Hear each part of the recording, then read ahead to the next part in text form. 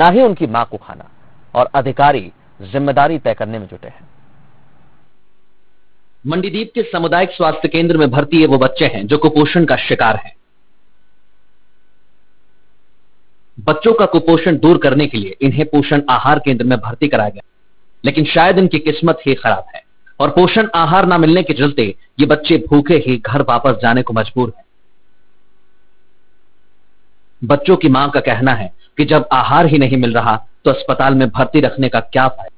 तो पूछा तो, तो वो बोल रही थी कुछ है नहीं क्या बनाएँगे अच्छा मतलब राशन दूध कुछ आ नहीं रहा है उनके पैसे देना है। हाँ। पेमेंट हुई नहीं तो कैसे खाना बनेगा? अच्छा। तो फिर अब आप लोग कहाँ जा रहे हैं? अब हम घर जाएँगे। हमारे दोनों बच्चे भर्ती हैं इन्हीं का वज़न बढ़ाने के लिए आए थे हम।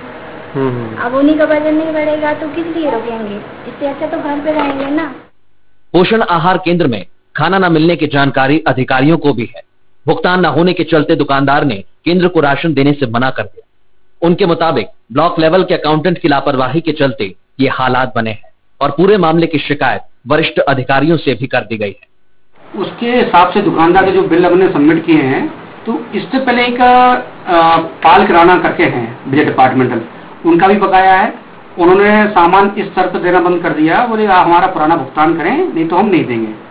उसके बाद फिर हमने एक सिद्धि रात्रि वाले कराने वाला है उनको बात की कि भैया आप प्रोवाइड कराइए काम चलाना है। जैसे जैसे हम उसको घसीट रहे थे। कल उन्होंने सात दिन पहले करीब करीब उन्हें लेटर दिया कि हम नहीं दे पाएँगे और कल उनको सामान लेने बच्चा गया उनको साफ़ मना कर दिया सवाल ज़िम्मेदारी या शिकायत का नहीं है।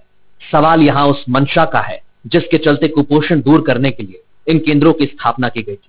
लेकिन आज इन केंद्रों पर ही बच्चे भूखे हैं और जिम्मेदार महज ज़िम्मेदारी तय करने में लगे हैं। देवेंद्र चौहान, बंसल न्यूज़ मंडीदीप